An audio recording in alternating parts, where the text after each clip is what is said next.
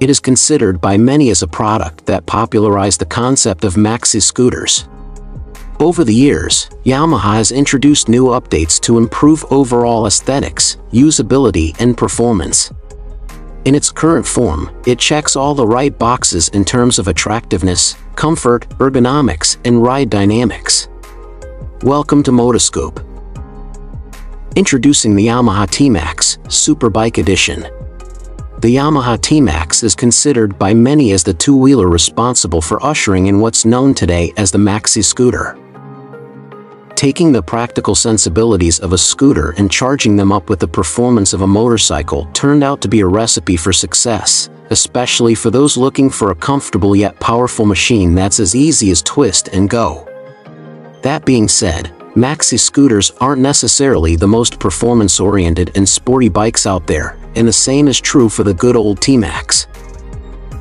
However, this didn't stop Ortolani Customs from transforming a 7th generation T-Max into a superbike-inspired maxi scooter, or should I say hyper scooter. Ortolani Customs is a custom workshop based in France. The company has a very distinct look about its builds, and likes to keep things incredibly sleek, well-polished, and streamlined. It goes without saying that its execution on the Titan, the name given to this custom T-Max is otherworldly and is striking enough to make non-scooter enthusiasts consider getting a maxi scooter. Built in collaboration with the Yamaha Castellan dealership in France, the Titan has been redesigned to feature aluminum bodywork versus the stock scooter's plastics.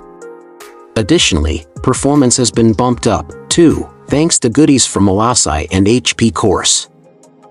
According to Ortolani Customs, the scooter now pumps out in excess of 50 horsepower. The first thing you'll probably notice is that the Titan seems to have larger proportions versus the standard T-Max. That's because Ortolani has fitted a pair of 17-inch wheels from an Aprilia RSV4 to really give the Titan a superbike-esque appearance. The brakes had to be modified too, and continue the ABS feature. Furthermore, out back, gone is the scooter's belt drive system in favor of a chain drive which required the modification of the swing arm to accommodate the larger wheel and revised drivetrain. Other goodies that complete the package consist of Rizoma stealth mirrors more commonly associated with sport bikes.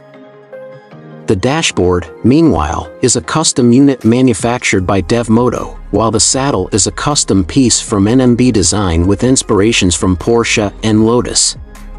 Overall, the Titan is both a showpiece and a functional custom build, featuring enhanced performance and a unique style that's sure to turn heads.